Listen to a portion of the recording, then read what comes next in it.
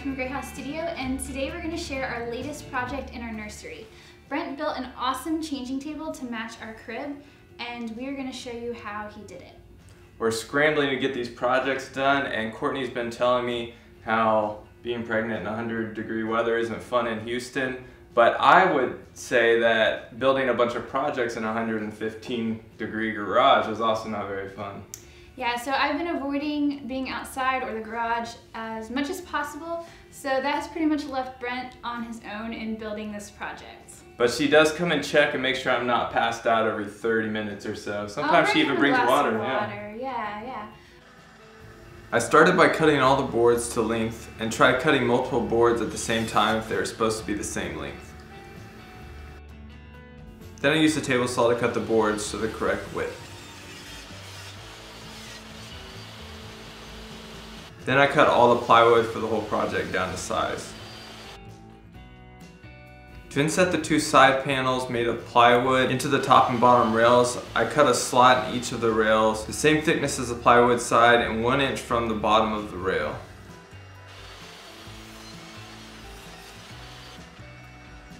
To start assembling the changing table, I glued the slotted rails to the plywood sides and clamped the boards together until everything dried. I used a measuring tape to straighten the rails to the plywood to make sure it was square before I tightened the clamps down.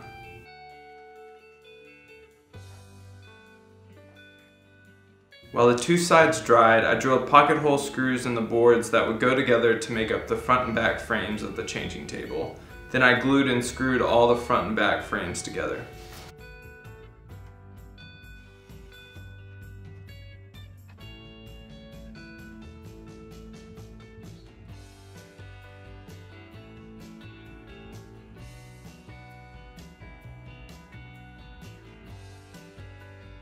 Once all the sides and base were put together, I used one and a half inch finishing nails and wood glue to assemble the shell of the changing table.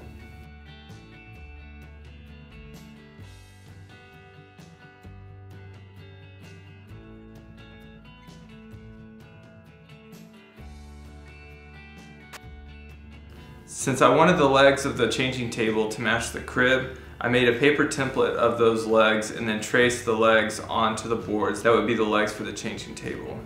Once those pieces were traced, I used the miter saw to cut the angle at the top of the legs so that the legs would mount to the changing table at the same angle. Since the boards I'm using are only 3 quarters of an inch thick and I wanted the legs to be an inch and a half thick, I'm gluing two boards together per leg.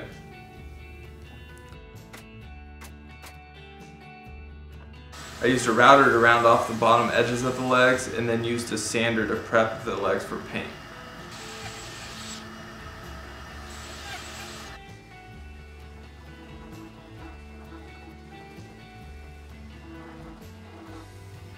Once sanded and ready for paint, I attached them with finishing nails to the bottom of the changing table.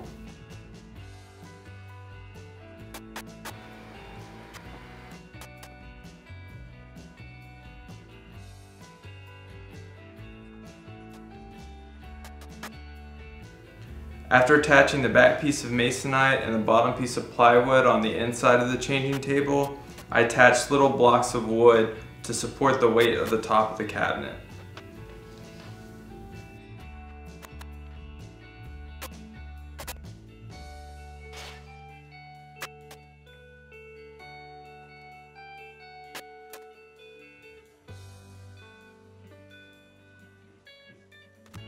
Then I used finishing nails and glue to attach the top to the changing table.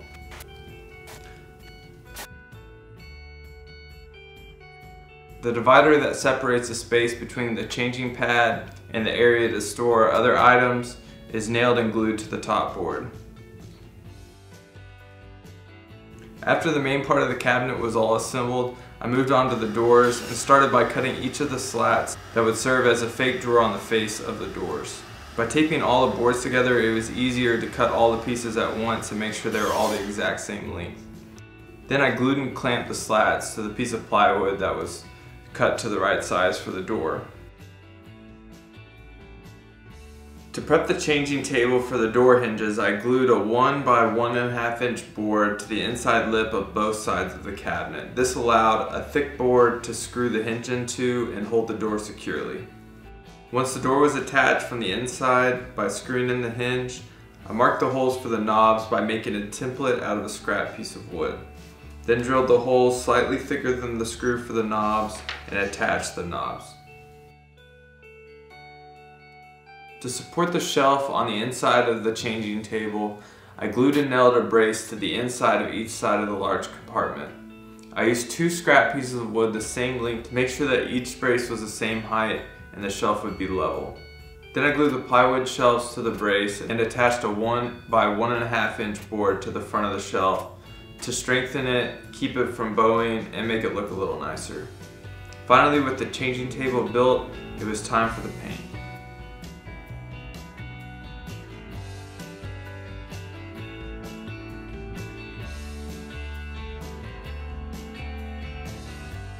If you have any questions about this changing table build, be sure to leave them in our comment section below.